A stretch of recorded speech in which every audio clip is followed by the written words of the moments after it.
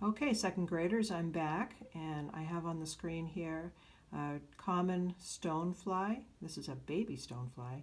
It's a big picture of one um, and when you find them in the water they're much much smaller than this, sort of the size that you'd expect an insect to be.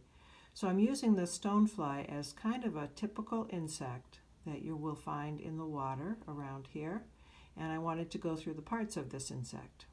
So first of all, see if I can use my arrow here. We've got the head, as you can see here at the top. The middle part is called a thorax, and it starts here and goes all the way down here. So the thorax, in this case, has several parts. And then we've got the abdomen that starts here and goes all the way down here, again with several parts.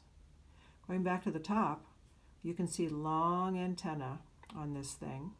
Has a couple of mouth parts here, and then eyes on the sides of the head.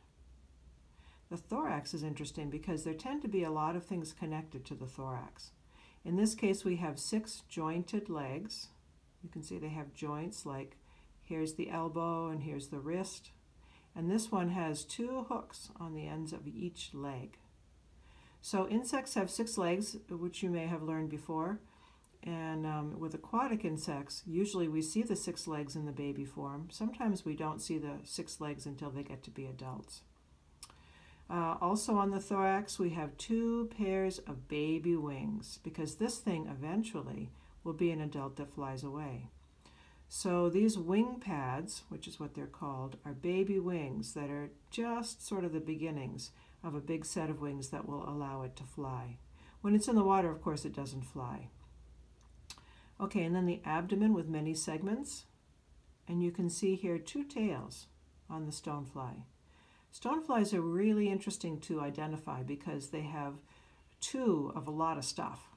They have two hooks on the ends of the legs, two pairs of wing pads, here's one pair, here's another pair, and two tails.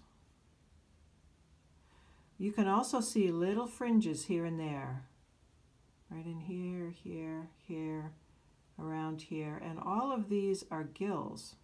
Like fish have gills, many aquatic insects have gills as well, and it allows them to breathe in the water. So if you take them out of the water and put them in the air, they can't breathe, just like a fish can't breathe out of water. Okay, I'm going to go to the next segment. I'll be right back.